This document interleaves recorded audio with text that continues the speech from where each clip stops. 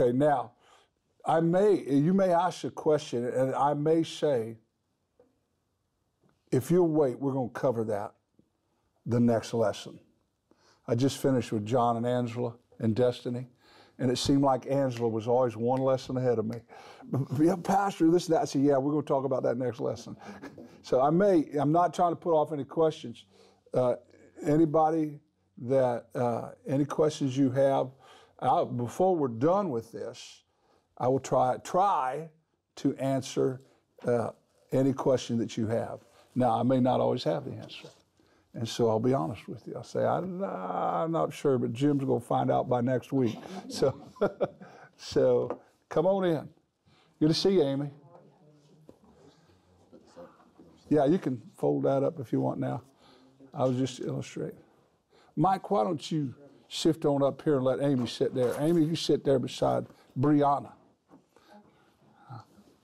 So great to have everybody tonight. And are you ready, Brandon? Yes, sir. Okay. So uh, this Bible study is called Search for Truth. And that's what it is. It's a search for truth. Now we're going to use this, the chart to keep us on track, okay, and the outline to try to keep us on subject. But what we're really going to study is the Bible. This, this is a Bible study. And so, uh, kind of the theme scripture is John 5 and 39, where Christ said, Search the scriptures, for they are they which testify of me, and in them you think you have eternal life. So, so that's what we're going to do. We're going to search the scriptures. If you don't have your Bible tonight, bring your Bible with you. If you got a phone, uh, you know, you can look it up on the phone. That's fine. I may ask you to, or for volunteers, or ask you to look up a scripture or two as we go along here. So uh, I'm going to try to hit the main scriptures and the main themes. Any scriptures we don't look up, you got here on your outline, and you can kind of look them up. We're going to do this every Tuesday night at seven o'clock. So y'all can just mark that down. Tuesday night at seven, I'm going to be here. Okay? So let's just have a word of prayer and we'll get started tonight. Lord Jesus, I thank you for the opportunity just to share the Word of God. Lord, we believe that the gospel is the power of God unto salvation. Lord, and I believe that all scriptures were given by inspiration of God. And I believe you, Lord, to speak to our hearts and lives and lead us in this search for truth. In Jesus' name we pray. Amen. Okay, so First of all, let's talk about the scripture themselves, uh, how we receive the Bible. You know, your Bible is split into two sections the Old Testament and the New Testament. You know, the Old Testament makes up really about three fourths of your Bible, and the New Testament is about the last fourth of it. Okay, in the Old Testament, there are 39 books. Easy way to remember that. There's three letters in Old, nine letters in Testament, 39 books in the Old Testament. They're broken up into five basic parts the law, which is the law of Moses, the first five books of the Bible. The Jews call this the Pentateuch. Okay? Genesis, Exodus, Leviticus, Numbers, Deuteronomy. Okay, the next 12 books is, is a lot of the history of the kings and battles and events of Israel. Uh, Joshua, Judges, Ruth, 1st and 2nd Samuel, 1st and 2nd King, 1st and 2nd Chronicles, Ezra, Nehemiah, and Esther.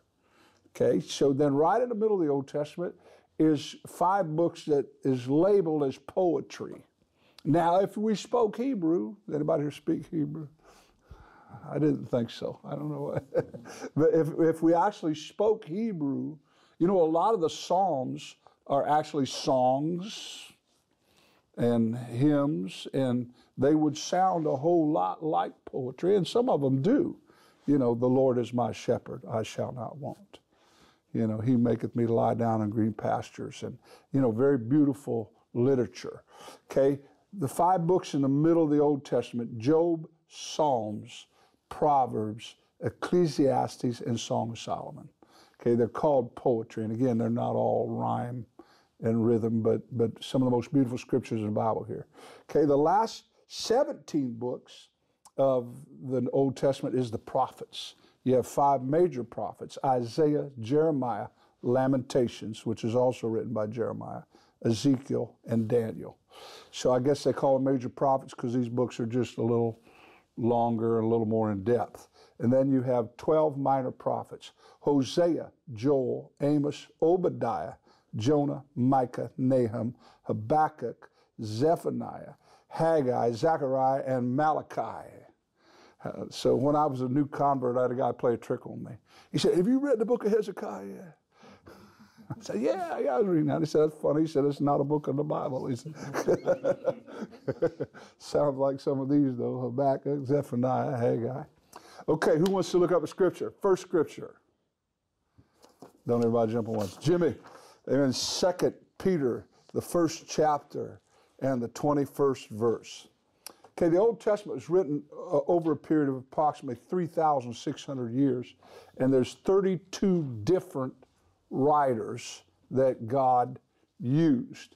There's many writers, but there's really only one author. 2 Peter 1 and 21.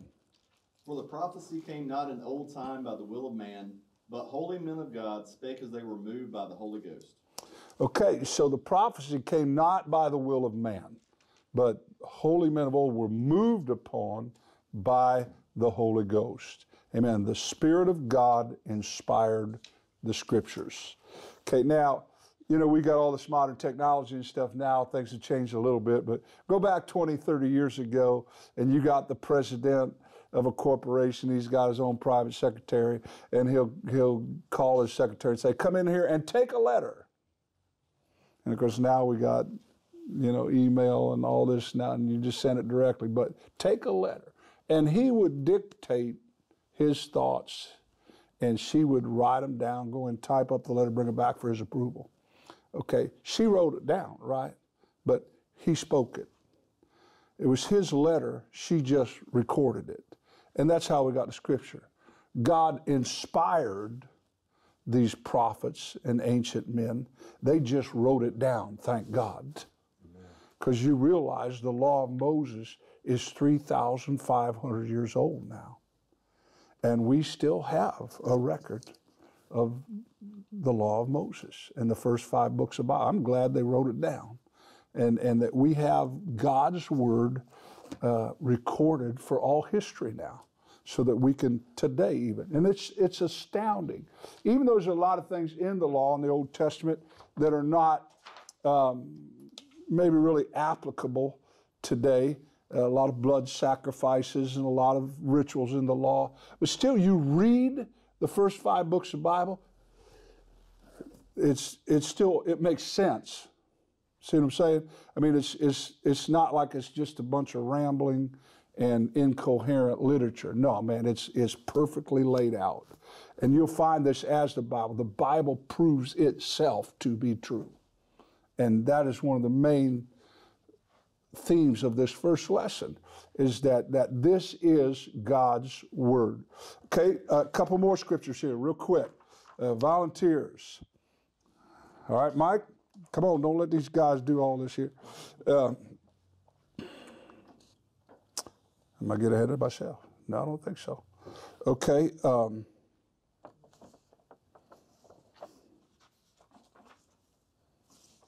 I think that's lesson. yeah.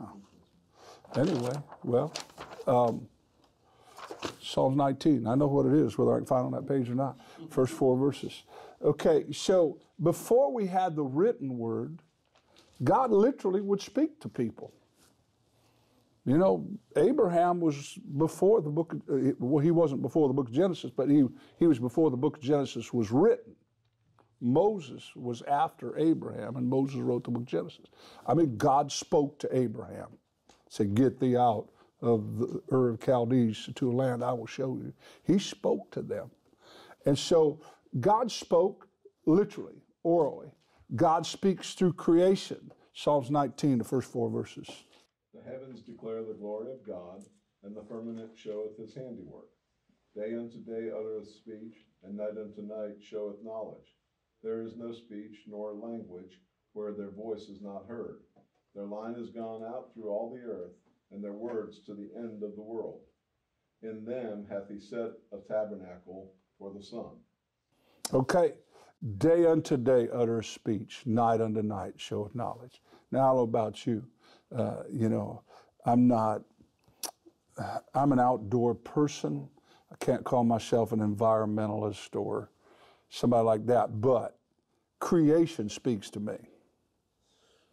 All I got to do is walk outside and look up at the stars, and it tells me that there's a God in heaven. This all this all didn't just happen, you know. And I love the creation, you know, except for the curse and the people on it that create so many problems. Uh, the earth is a beautiful creation. The earth itself, even now, is a beautiful creation, is it not? And and so day unto day utter speak, night unto night showeth knowledge. God speaks through creation, and then God speaks through conscience. Somebody say amen to that? You know, even before the written word, God would speak to them uh, in their hearts and their minds. Well, He still does that today, only He uses His word also. But the first written covenant, and of course, God gave Moses the Ten Commandments. But not only gave him the Ten Commandments, He gave him the first five books of the law. Now, think, think of the tremendous you know, put Moses on an ancient mountain. Mount Sinai is in the middle of the Sinai Peninsula. Mount Sinai and Mount Horeb are actually twin mountains. There is nothing out there, nothing out there. It's a desert, it's barren. And here's Moses on top of this mountain, and God gives him those first five books. And you read those first five books, and that, that's pretty astounding. God gave Moses the account of the creation. You know, the Bible is not a science book. The Bible is not a medical journal. It's, you know, uh, but it gives us an account of creation.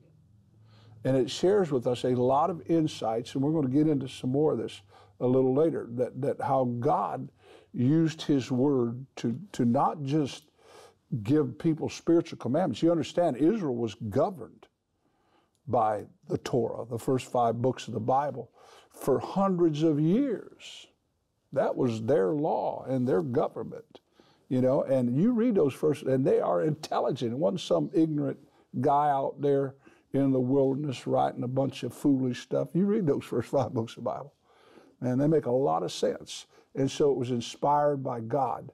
Okay, so to preserve the law, the, the Jews would take the law and they put it in the Ark of the Covenant and preserved it there meticulously preserved it. Uh, the Jews were really, really, you know, very um, precise about this. Uh, the scribes, scribes, scribble, writers, scribes, writers, okay? The scribes, their, their job was to make copies of the law of Moses. That was their job.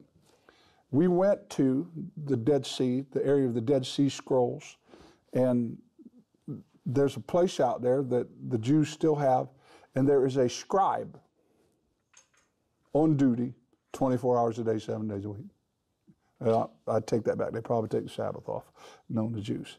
They're still out there making copies of, if I had my wallet, I'd show you the, the scribe for one dollar. The scribe wrote a little one by one thing that's in Jew in Hebrew that says Ron and Shar. That's my wife.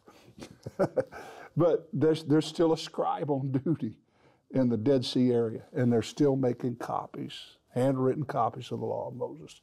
They, they were so meticulous, they would take a section of, of the law and they would, they would look at the word, they would say the word, they would write the word, they would say it again, and then they would look at it.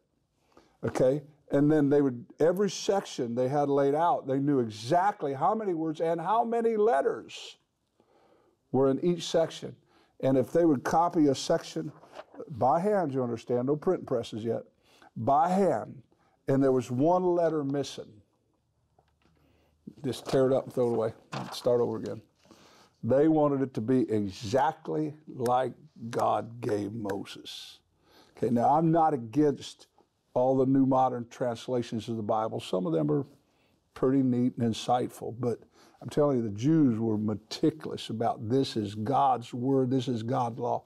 Remember, Jesus said, Not one jot nor tittle of the law would pass away. That means we would say dot every I, cross every T. That's a dot and a tittle, a jot and a tittle. You know, that's what it meant. They, they did it exactly like God gave it to them. And that way they preserved the law of Moses, just like God gave it to them for hundreds and even thousands of years. Okay, so uh, every seven years, I love this one. Every seven years, there was a special event, and they would gather all the children of Israel together, and the high priest would get out the law of Moses, and he would read the first five books of the Bible. How'd you like to go to church one Sunday and say, okay, today we're reading the first five books of the Bible. Everybody stand. Once every seven years, they read it from end to end for everybody. Okay, so uh, the scribes preserved the law of God for future generations. In 1488, the printing press was invented. And what's the first thing they printed on the printing press? Bibles. Poop. Because you realize, 1488, we'll get into this in a lesson, church history in the New Testament. Uh, hardly anybody had a Bible. They would, they would chain the Bibles to the pulpit in, in, in the, the Catholic cathedrals. And, and people like me and you, very, very minuscule chance we would ever own a Bible. They were very rare until they invented the printing press. The, the, printing press was invented in Germany. It's no accident the Great Reformation started in Germany. Because you know what started the Great Reformation? This book right here. When people got the Bible in their own hands and started reading it, it started a spiritual revolution. And I will tell you, it'll do the same thing today if we really get a hold of this thing and start reading it and believing it and practicing it. It would start another spiritual revolution. So I tell people, okay, if you know if you don't have a Bible, uh, you can buy one at the dollar store for one dollar. If you can't afford that, we will give you a Bible. Literally, I probably have 15 Bibles altogether. I mean, I got Bibles everywhere. I got both of my parents. The only thing I got of my parents was I got both of their Bibles and a silver dollar that my mom had. That's all I have of my parents. That's all I wanted. Amen. I got both their Bibles. Uh, but, but the Bible is common now. That doesn't make it any less truthful or any less valuable. Because it's so commonplace almost now, we just about ignore it. And that's the wrong thing to do. So the Bible. This is how we got God's Word. Okay, so the Bible has been tested throughout history and throughout the generations. Um, this is before, you know, this chart here was redone around the year 2000. So this is updated, you know, now it's about 20 years since this chart's been updated. You know, before a lot of the, the really high tech stuff come out in the last five or 10 years, uh, there was more translations of the Bible than any other book on the planet. The Bible is the number one bestseller in the history of the human race. More Bibles have been printed, sold, read than any other book on the planet. Okay, what did, what did Jesus say in John 24 and 35? Somebody quote it to me. Heaven and earth pass away, shall pass away, but my word shall not pass away. God has guaranteed that his word. Are you still in Second Peter 1? No. Jimmy had that. 2 Peter 1 21, back up to 2 Peter 1 and 16.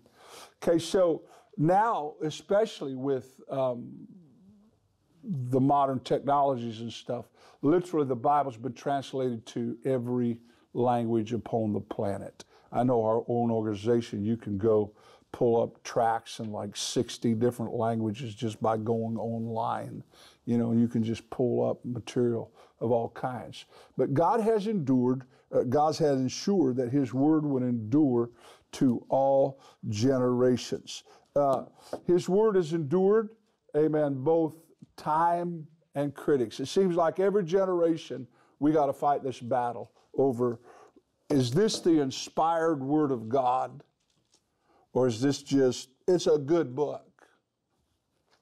Got a lot of good stories in it. A lot of good stuff, yeah, but how many of you believe this is the inspired Word of God? It's more than just stories. It's more than just good stuff, and it is good stuff.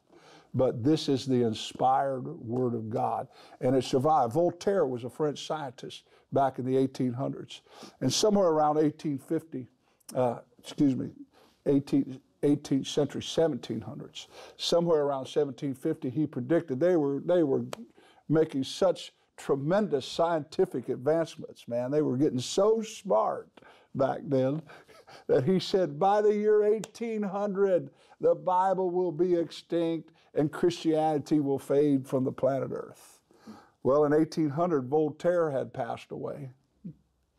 And the Geneva Bible Society bought his house and printed and distributed Bibles in it. Voltaire passed away, but God's Word did not pass away. And God has ensured His Word will endure forever. Uh, I mentioned to you already, Jesus said, Heaven and earth will pass away. My Word will never pass away. Okay, and then read me 2 Peter 1 and 16. For we have not followed cunningly devised fables when we made known unto you the power and coming of our Lord Jesus Christ, but were eyewitnesses of his majesty. Okay, so the apostles were eyewitnesses of Jesus Christ. Now, anybody that is foolish enough to say, oh, Jesus never lived, it's all just a story, they're foolish. I mean, there's thousands of counts of Jesus Christ being on this planet, not just the Bible. Uh, Josephus was a uh, unbelievable Jewish historian and wrote a lot about uh, Christ and the early Christianity and the Christian church in the Roman Empire. I mean, you know, but Peter said, We were eyewitnesses. We saw it ourselves. Now, the most powerful witness you can get is an eyewitness. Uh, they convicted uh, police officer Chauvin today because he took a video and everybody could see what happened. You know, there were eyewitnesses there and then there were eyewitnesses of the video. You can't you can't deny it, can you? I mean, you know, you got eyewitnesses, you got the most powerful witness in a courtroom. You know, so Peter said, We were eyewitnesses. They actually proved in a British courtroom uh, back in the 1970s or 80s that Jesus Christ resurrected from the dead. And the way they did that is you can take the written account of a valid witness.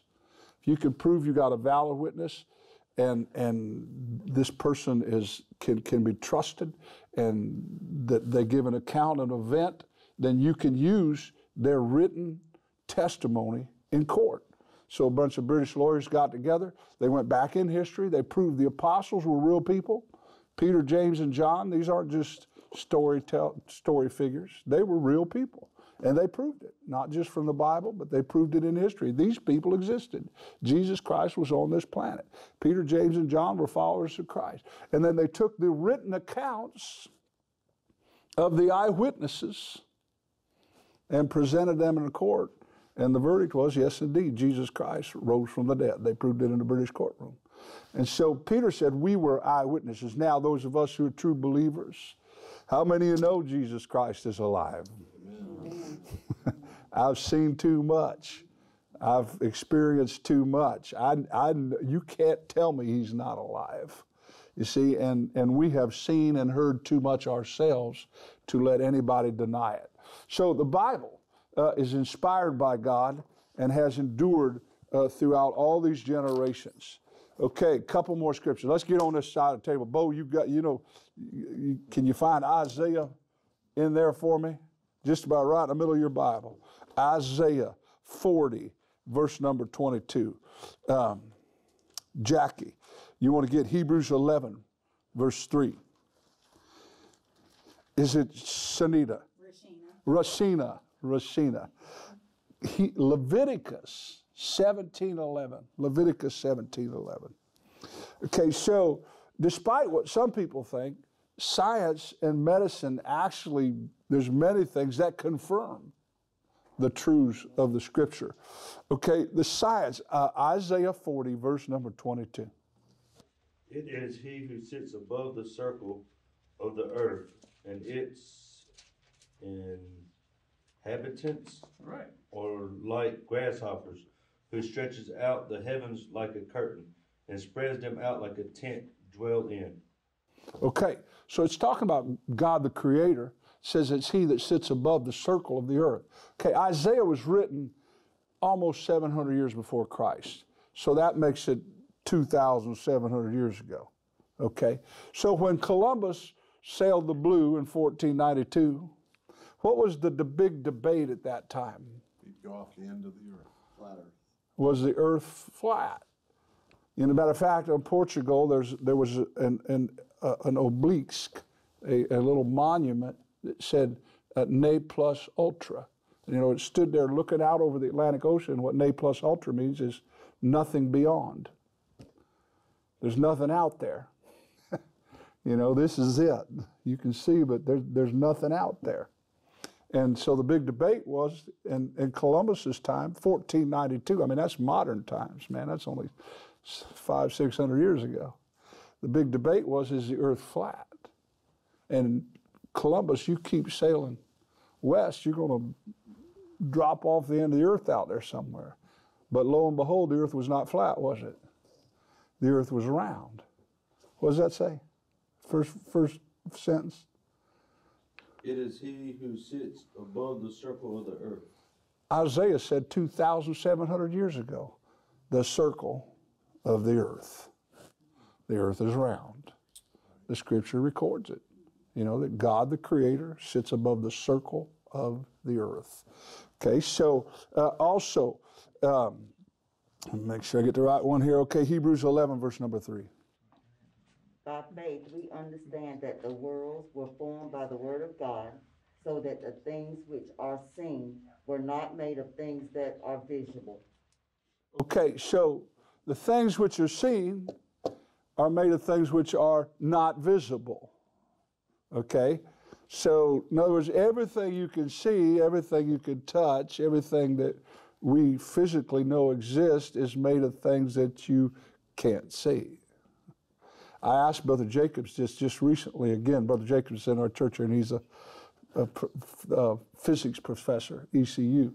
I said, can, can you see an atom yet? Can you see? He said, no, you cannot see an atom. There's no technology they've created. You can't see an atom. They know they're there because of the energy and activity that they create, but you just, you can't see it. But everything that exists made up of these atoms. Everything that you can see is made up of things you can't see. And Hebrews said that, Hebrews 11 and 3, 2,000 years ago. It didn't take Einstein. It took Einstein to figure it out for us. But God knew it 2,000 years ago. Everything you can see is made of things which you cannot see. Hebrews 11 and 3. Leviticus 17 and 11. For the life of the flesh is in the blood, and I have given it un- I have given you it to you upon the altar to make an atonement for your souls. For it is the blood that maketh an atonement for the soul. Okay, the life of your flesh is in your blood. Okay, now he's talking about the atonement specifically here, but he makes a very clear, concise statement. The life of the flesh is in the blood. Okay, now it used to, I mean, a couple hundred years ago even, that sometimes a person would get sick and they weren't getting better and they were just staying sick and they say they got bad blood. Let's get that blood out of them, let's bleed them and they would sometimes use leeches or sometimes they just cut them and let them bleed. They think we get the bad blood out of them, then they'll get better. They don't do that anymore, do they? Now they take you to the hospital, what are they doing? They're pumping blood in you. They're infusing you with blood. Why? Because the life of your flesh is in the blood. Do you know that every cell in your body, hair cells, fingernail cells, any cell in your body is nourished by your bloodstream? That's how it carries nourishment and oxygen to every cell in your body. And so the life of your flesh is in the blood. Moses said it 3,500 years ago. Another interesting thing uh, in the law was this that, you know, God commanded the Jews to carry on certain uh, practices. Um, what am I trying to say? Um, hygiene you know, certain hygiene practices. You know, you take you take the, your urine and your stool and you take it outside the camp and you bury it outside the camp. Okay, And why? Because he didn't want disease running rampant through the children of Israel. They didn't know nothing about infectious diseases then. In the law, God would tell, tell a priest, the priest goes and visit uh, one of the people, and this guy's sick, and this guy's got a fever, and he's running a fever. Well, the priest, you know, they didn't have doctors per se, so the priest would kind of minister to him. And then God said, if he had a fever and he's sick, go home, take a bath, wash your clothes, and stay home the rest of the day. And tomorrow you can go visit some more people. Now, why did he do that? Because he didn't want him going from tent to tent spreading infectious diseases, did he? But God wrote that 3,500 years ago. And it wasn't until the last 100 years or 200 years, and we're still trying to persuade people that, you know, this virus can spread from person to person, and some people don't believe it still. But it, I mean, infectious diseases, you know? And so, you know, but 3,500 years ago, God's Word put things in His Word. And it just shows that God knew what He was doing long before humanity discovered so many things about science and medicine. God already knew it. He already had reasons He did things. So the more you study into this, the more you study into history, the more you study into archaeology, uh, and especially the Dead Sea Scrolls, uh, you find out uh, the validity of God's Word. My wife and I were blessed to go to Israel uh, in December of 2019. Praise God, right before uh, the virus broke out about two or three months later. And we're glad we got to make that trip. And, and so they're still just uncovering stuff over there all the time. And we went to one place up by Megiddo. We were at the ancient ruins of the city of Megiddo, which is Armageddon you know, in the future, the Battle of Armageddon. Uh, and it's amazing, these cities and stuff that they're still uncovering. They discovered something they're calling Abraham's Gate. You know, 4,000 years ago, 4,000 years ago, Abraham left Ur of Chaldees, which would be modern day Iraq, and went up through Syria and came into the northern, uh, the northwest, northeast corner of Israel and, and, and uh, the area of Lebanon, Syria, and Israel, and came into Israel. And they discovered this archway of some ancient city, and they haven't even, they don't even know what's behind it yet. They just got this archway kind of uncovered, and they're calling it Abraham's Gate because they said this is the area where Abraham entered the promised land. You know, and so the more they discover about history and archaeology, the more they realize how true God's Word is. Okay, the Dead Sea Scrolls was a, a, huge discovery. Oh, Lord. I should, somebody remind me next week to bring my picture book from Israel. Because I'm going to say this about 10 times. I got pictures of this. and you can see them a lot better. Come on. Uh, if, if I had the book. Okay, here we go. Yep, I got pictures of it right here. Just pass that around. That is right there in the area of the Dead Sea. You can see those caves in the side of that mountain. Okay, and there's a lot of them. Actually, you can stand down there at the base where they have a, a, a museum like about the Dead Sea Scrolls, and you can stand there and probably see a half a dozen caves up in these mountains. And this is right by the Dead Sea, which is a very dry, arid area. And so what happened with the Dead Sea Scrolls was they, they think when the Romans invaded Israel, there was this group called the Essenes. And matter of fact, that's where the guys are still writing the scrolls, is out there where the Essenes uh, used to uh, have their headquarters, per se. So, uh, very, very dry area. So the Romans are invading Israel. And so these Essenes say, you know what? These guys allowed to come in here and destroy everything we got. Let's take a bunch of our scriptures. Let's take a bunch of our writing. Let's take a bunch of our literature. Let's gather it up and let's hide it from them. And so they go up into these caves on the side of these mountains in the middle of the desert and, and they put them in clay pots and they stick them in the back of these caves. Okay, and so uh, of course the Romans ruled and then the Romans did destroy Jerusalem after Christ was here, and hundreds of years passed, thousands of years passed. So somewhere down the line, after World War II, um, There's a lot of shepherds. The Bodine, Bodine, Boyden, what is it? Bedouin, Bedouin Bedouin shepherds, and those guys are still out there. It's crazy, man. Israel's so brown, it's amazing. I mean, it doesn't look like anything grows there hardly. And I don't know what them poor sheep eat, but we're driving down the road toward the Dead Sea, and you see these shepherds out there still herding sheep and stuff. So these some of these shepherds or shepherd boys, you know, discovered in some of these caves, they discovered all these clay jars, which by now are 2,000 years old. And because it's such a dry area, and because they were inside a cave, and because they were in clay pots, you know, this clay kind of breathes and it preserves stuff real well. And when they open it up now, they're so fragile. Some of them, literally, I mean, they take tweezers and take little sections of it. But there are some of them that were still in scroll form. But, uh, and they, they still haven't interpreted all these Dead Sea Scrolls. Uh, but some of them were very legible. They basically have a copy of the whole book of Isaiah. And the whole book of Isaiah almost perfectly preserved. And they took it and they laid it down beside the Hebrew Bible today. And lo and behold, word for word, 2,000 years later. You know, and so it just proved, you know, your Bible wasn't written a couple hundred years ago by a bunch of guys that got together and decided to put some of their thoughts together. Your, your Bible was inspired by God and has endured now for thousands of years. Okay, this is the last page tonight. Anybody got any questions so far? Okay, uh, this will be the last page tonight.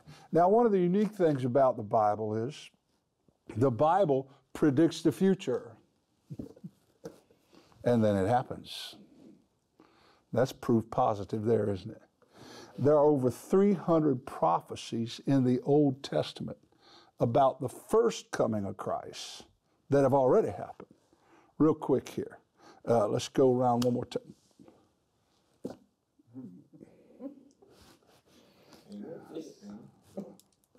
Patrick. Patrick. I forget my own name sometimes, so don't feel bad. Patrick, if you don't mind, um, look, look up Isaiah 7 and 14. Um, who else? Jonathan. Zechariah 11, verse number 12. This is just a couple of examples, and then I'm going to give you what I consider the greatest prophecy in the Bible.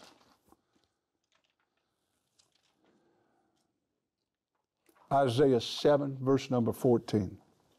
Therefore, the Lord himself shall give you a sign. Behold, a virgin shall conceive and bear a son, and shall call his name Emmanuel.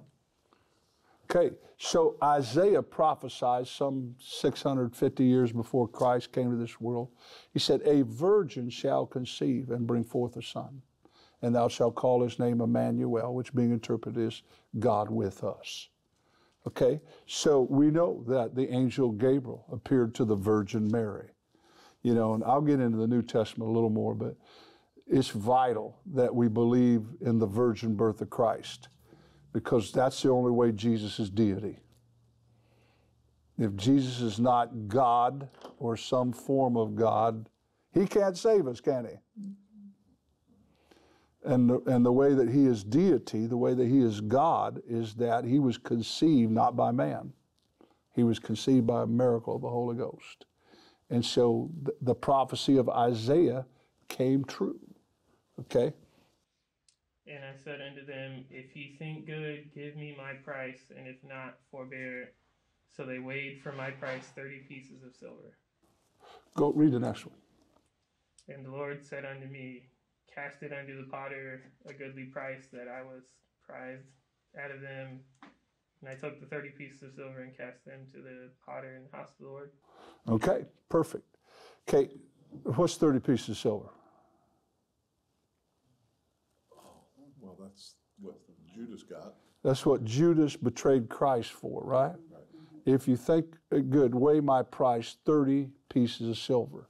Okay, that's what Judas betrayed Christ for. Zechariah prophesied this about 500 years before Christ. Okay, then he says, cast the silver to the potter in the house of the Lord. You know, it's, it's, Judas is a sad story. He gets 30 pieces of silver, takes some money. He didn't even go get drunk. He didn't go buy a house. He didn't go buy a new car. He takes that 30 pieces of silver and immediately he is condemned in himself. He didn't even get to enjoy it. Like I said, I'm not promoting you go get drunk or go pay for a harlot or something. He didn't do none of that. 30 pieces of silver. Immediately he was condemned in himself. What did he do? He took it back to the temple, the house of the Lord, and told the priest, I can't take this money. And this is blood money. And the priest said, Well, we can't take it back because it bought the blood of a man. Judas threw it down, cast it to the potter in the house of the Lord. He threw it down and left. The, the priest took it and he said, We can't keep this money in the treasury because we bought a man with it. They went out and bought the potter's field and buried strangers in it. How's that for specific? 500 years before it happened, Zechariah said, 30 pieces of silver cast to the potter in the house of the Lord. Very precise, right? Okay, let me give you what I think is the greatest prophecy of the Bible. It's not on your lesson outline. Psalms 22.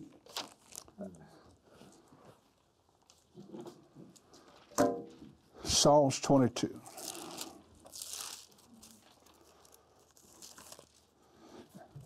Okay, Psalms 22, verse number one.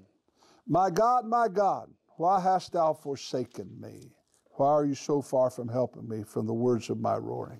What's that sound like? My God, my God, why hast thou forsaken me? Anybody heard that before? Jesus, when he was on the cross. Jesus hanging on the cross. What did he say? My God, my God, why hast thou forsaken me?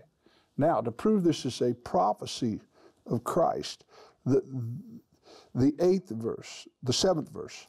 All they that see him laugh at him in scorn. They shoot out their lip and they shake their heads, saying, He trusted on the Lord that he would deliver him. Let him deliver him, seeing he delighted in him. The enemies of Christ that put him on the cross, they're standing down there, and what did they say? He trusted in the Lord. Let the Lord deliver him. Exact words. Only one thing. This sounds like a newspaper account of the crucifixion, but it was written a thousand years before it happened. A thousand years before it happened. To prove, again, read the whole chapter because it's all about the prophecies of Christ. The 16th verse the dogs encompass me, the assembly of the wicked have enclosed me. They pierced my hands and my feet. There's your crucifixion right there. Listen to this, the 18th verse. They parted my garments among them and cast lots upon my vesture. What did the Roman soldiers do at the foot of the cross? They cast lots for his vesture. Here's David a thousand years before it happened, giving quotes, quoting exact words and telling exactly what was going to happen. A thousand years. I don't know what's going to happen tomorrow. I don't know about you, let alone a thousand years from now. And yet here it is, and it's clear, and it's concise, and it's specific. This isn't just some vague scripture that we try to make it say something we want it to. I mean, this is very, very precise. 300 prophecies in the Old Testament about the first coming of Christ. That's how it's come we knew Jesus was the Messiah because he fulfilled all those prophecies. What? In the beginning was the Word, the Word was with God, the Word was God, and the Word became flesh. All those prophecies were fulfilled in Christ, and that's why we say he was the one. We know because of all the prophecies. Okay? They say there's 1,200 prophecies about the second coming of Christ. Now, it hasn't happened yet, but you mark it down. It's 2,000 years from Abraham to Christ, and now 2,000 years from the first coming of Christ to what I believe will be the second coming of Christ. Okay, so there's many prophecies. Uh, let me just get a couple, and we'll be done right here tonight. Anybody still got Isaiah? Should have had Bo hold on to. Oh, you're still in Isaiah, aren't you? Isaiah 11 and 12, Patrick. 11th chapter, 12th verse. Isaiah 11, verse number 12. Um, okay, that'll do. Let me just kick this out there while he's getting that. You know, uh, the immorality, the ungodliness of our generation. Christ himself specifically used two examples several times the Noah and the flood, and then the destruction of Sodom and Gomorrah. Christ said, As it was in the day of Noah, so shall it be the coming of the Son of Man. They bought, they sold, they planted, built until Noah entered onto the ark, and the flood came and destroyed them all. So shall it be at the coming of the Son of Man. And he said, as it was in Sodom and Gomorrah. Actually, that's one where he said they bought, they sold, they planted, they built until the day it rained fire and brimstone from heaven. He used the generation of Noah and he used Sodom and Gomorrah. And he used them more than once as specific examples of what it would be like at the second coming of Christ. In Noah's time, it says three things in Genesis, the sixth chapter. And we're going to study Noah and the flood in the third third and fourth lesson. Okay, so there are three things. So number one, uh, said that man's hearts and mind were only evil continually. And praise God for all these wonderful technologies, but it's also opened a Pandora's box for people that want to do evil. They can do it continually, 24 hours a day, man. They never, never shut it off now. And so men's hearts and minds were only evil continually. Number two, it said they corrupted the way of the Lord. Well, you feed your mind with evil, you're going to live a corrupt lifestyle. And then the third thing was it says, and the earth was filled with violence. And God said, enough. Noah built an ark. And Christ said, as it was in the day of Noah, so shall it be the coming of the Son of Man. Okay? Uh, Sodom and Gomorrah. Uh, you know, the crying sin of Sodom and Gomorrah uh, was homosexuality. Uh, and, and that's in one of the future lessons here, too. Is, uh, when, when Lot, uh, when the angels came to visit Lot and to get them out of that city, it said that the men of the city came and tried to break into Lot's house. Now, Lot didn't do a very brave thing. Lot said, Look, I got two daughters here I'll give you, but you can't have these men. And they said, We don't want your daughters, we want the men. So that just, I mean, that's pretty clear, isn't it? And they said it, we want to know them, which is a, a scriptural term for have sex with them. So uh, this was the crying sin of Sodom and Gomorrah. And so Christ said, as it was in the day of Sodom and Gomorrah, so shall it be at the coming of man, Son of Man. So we're seeing this repetition of these kinds of sins in our generation. Isaiah 11, verse number 12. And he shall set up an ensign for the nations, and shall assemble the outcasts of Israel, and gather together the depressed of Judah from the four corners of the earth. Okay, so here's a prophecy about the restoration of the nation of Israel. You understand, 70 AD, the Romans came in, destroyed Jerusalem, carried the Jews away. From 70 AD to 1948, there was not a nation there called Israel. Now, we've all, since we've all been here, again, we're used to hearing about the nation of Israel again. It didn't exist for almost 1,900 years. Now, you take, you know, take nations, just take the Indian nations. What's the chances of them 2,000 years later being resurrected and becoming a nation again? Pretty small. What's the chance of any nation after almost 2,000 years somehow being brought back together and restored? And the thing about the Jews is their lifestyle was so unique, they managed to maintain their bloodlines. You talk to a good Jew today, they'll tell you what tribe they're a part of. They know their lineage, they know their bloodlines. And, and so 1,900 years, of course, here comes Adolf Hitler, World War II, the Holocaust killed six million Jews in Europe. And, and, you know, the Jews were trying to get out of there, and there was no place to go. Even the United States, shiploads of Jews came to the United States, and they sent some of those shiploads back to Europe, and they had nowhere to go. They were stuck.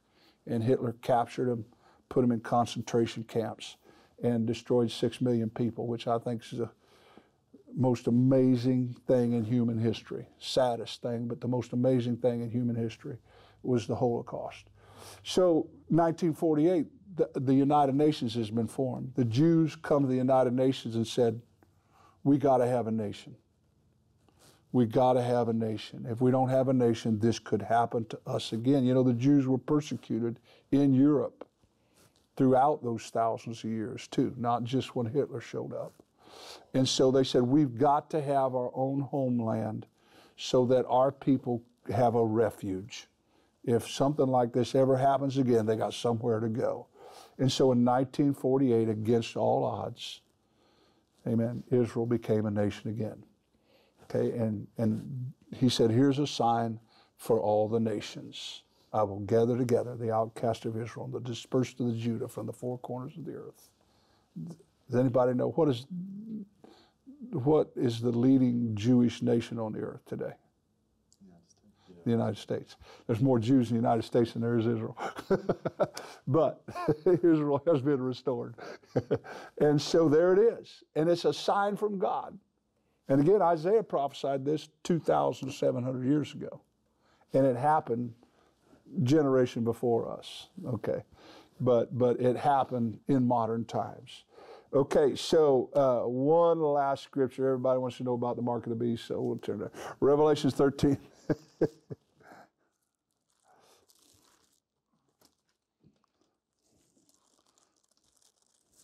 Somebody remind me to bring my picture book from Israel too. Because I, almost every lesson I make reference to it, it seems like, and I never have it with me. So, Revelation 13 chapter says he causes all, both small and great, rich and poor, free and bond, to receive a mark in their right hand, their foreheads, that no man might buy or sell save he that had the mark or the name of the beast or the number of the name. Here is wisdom. Let him that hath understanding count the number of the beast. It is the number of man. His number is 600, three score and six. Okay, so 666. You know, when I was a kid, we used to think they're going to just slap a big old tattoo on you, you know, 666 on your head. And, and you know, and I, but I always wonder how, how could they keep track of every person on earth? How could they control the whole world? They're doing yeah, right now, man. They know where you're at right now. Probably know what I'm talking about. That's the truth. And, and the technology's there. Fan i mean, they know who we are, they know where we are, you know, and, and I'm not saying all this technology is evil. It can be used for good, and we need to use it for all the good we can because it's, cause it's going to be used for evil when, when they want to. And we're already seeing problems with how they use technology to influence our society. So, so uh, while we may not understand everything about the mark of the beast, uh, we do understand that the technology is here to make this possible right now. This is not futuristic anymore, folks. The technologies are here right now that they can govern uh, every person on the planet. You know, they don't send out food stamps anymore. They just send out debits to people's credit cards. You know, when I got the stimulus, I didn't get a stimulus check. I just got a deposit in my bank account, you know, right? It's just everything's electronic. It's there. So they know who we are. They know where they are. They, they can govern the whole world if they choose to. It's just a matter of the Antichrist stepping on the scene and taking control of these systems and using them to accomplish what he wants. So while this has not fully happened yet, the technologies are definitely here for it to happen. So my whole point out all this is that, you know, the prophecies about Jesus Christ coming the first time came true. Every one of them with pinpoint accuracy. And the prophecies about him coming again and things in the future. The last two lessons of this series will be totally on what we call end time prophecy. And so we'll talk a lot about prophecy the last two lessons. Praise God. So you can trust this book. This is God's Word. Amen. You can trust this book and what it says, and it's been proven time and time again. And so, as we go into the future lessons, the coming lessons, uh, it's important to establish the fact that you know we're not just telling stories. These are not just fables. Th- this is God's word we're talking about, and if God's word says it, you can mark it down. You can believe it. Praise God. Any questions tonight about what we've covered? Come on now. All right. Good stuff. I'll be right back here next Tuesday. And next week, we're going to talk about creation, talk about God Himself. We're going to talk about the Garden of Eden, what is called the fall of, of humanity, the original sin. And we'll proceed from there. Let's have a word of prayer. Praise God. Thank you tonight, Jesus, for your eternal word. God, and I believe it tonight more and more as time goes on. God, you have proven your word to be true. Let us receive the engrafted word of God into our own hearts and lives. And let us believe, God, your word that the promises of God can be fulfilled in our own salvation and in our own experience. In Jesus' name we pray. Amen. Praise God. Praise God. What a great group tonight. I'm so glad you all came. About 20 till 7, I didn't know if anybody was going to show up, but here you are. And so this is just the first lesson, and we'll just keep right on going. Again, we're going to do this every Tuesday night at 7 o'clock. All right? Anybody else? No questions at all. All right, we'll be set up for next week then. God bless.